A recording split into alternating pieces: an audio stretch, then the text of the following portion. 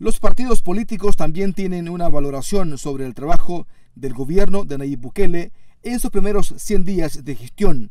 El FMLN, por ejemplo, cuestiona lo que podría ser algunos retrocesos del actual gobierno en comparación a lo que ellos creen dejaron en su administración de 10 años. Hemos, hemos visto muy poco espacio para el diálogo, hemos encontrado muy poco espacio para el debate y hemos encontrado muy poca dinámica de los puentes necesarios que un país y un Estado debe tener en el marco de nuestra democracia. Queremos reafirmar que vamos a seguir siendo un partido en nuestro papel de oposición responsable, un partido serio, un partido propositivo, pero un partido firme en aquellos temas que afecten los intereses el bolsillo y los derechos de los ciudadanos y de nuestras comunidades.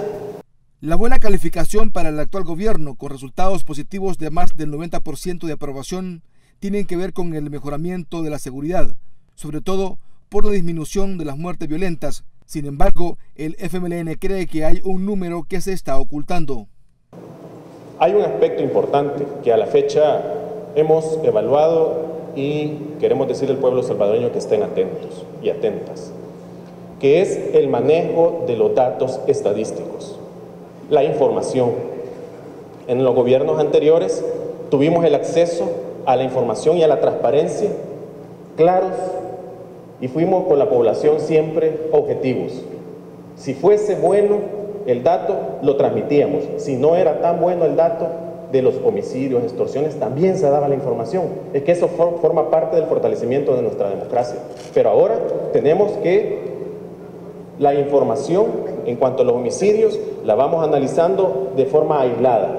La que nos dan ustedes como medios de comunicación, la que sale en las redes sociales y que nos toca estar sumando para poder sacar datos estadísticos. Necesitamos más acceso a la transparencia y a la información, porque hemos tenido casos interesantes Hemos tenido patrullas incendiadas, patrullas hurtadas o robadas también, ¿verdad? Que ustedes saben esos casos. Hemos tenido el recrudecimiento de la violencia contra las mujeres, los niños e inclusive esta semana que recién pasó en mi departamento, como es Sonsonate, tuvimos eh, el homicidio, el asesinato de una anciana.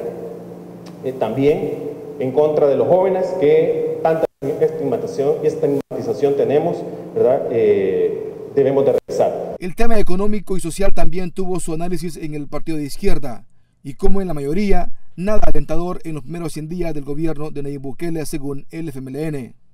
Quiero comentarles que nosotros en nuestra función pública diariamente también recibimos denuncias, quejas de diferentes eh, sectores de la población, de diferentes poblaciones vulnerables de nuestro país, que nos comentan cómo a través del inicio de esta nueva gestión del gobierno actual a partir del primero de junio han experimentado un retroceso en materia de derechos sociales. Puedo comentar el caso de beneficiarias de un programa integral que recoge dentro de una misma instancia servicios de diferentes instituciones. Me refiero al caso de Ciudad Mujer. ¿Qué ha pasado en el medio ambiente en los primeros 100 días según el FMLN? Que no hemos visto hasta hoy una planificación adecuada que nos vaya a decir o a marcar el rumbo por donde ese gobierno va a ir caminando en cuanto a la protección de los recursos ambientales. Al contrario, nos preocupa gravemente la flexibilización de permisos express. Hemos escuchado con mucha preocupación las posiciones del Ejecutivo en cuanto a la liberación o la flexibilización de más de 1.200 millones de dólares, que estaban retenidos en el Ministerio de Medio Ambiente en cuanto a permisos ambientales. ¿Qué daño va a traer esto a nuestros bienes naturales? Creo que es importante también decir y hacer eco aquí del clamor de la ciudadanía, de las organizaciones ambientales que han mostrado su rechazo, donde se pone de manifiesto el interés de una institución al servicio de eh, potenciar proyectos urbanísticos, en este caso, encaminados, como ya ustedes habrán escuchado, uno de los proyectos más emblemáticos y que ha dado mucho que hablar en los últimos días, que es la construcción del proyecto Valle del Ángel, que va a dejar sin agua a gran parte de la zona, eh, de toda la zona sur de San Salvador.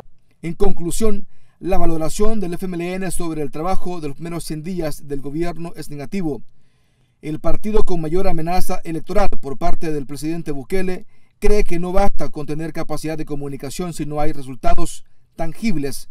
La gente terminará pasando la factura, dice.